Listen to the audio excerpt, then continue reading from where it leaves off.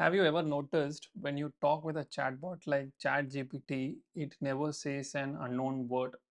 The reason behind this is simple tokenizer, which breaks your text into words and it will fail immediately when it finds an unknown word which is not present in the vocabulary.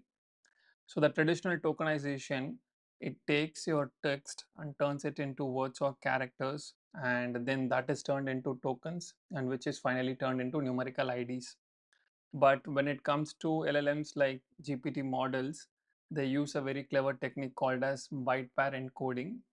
It just doesn't use the whole word, but it also creates its own vocabulary by merging frequent characters into subword units. So this process ensures that the LLM, whenever it finds an unknown word, it will try to match with the subword units or even characters. So this ensures uh, the tokenizer can process any text and making unknown word error impossible.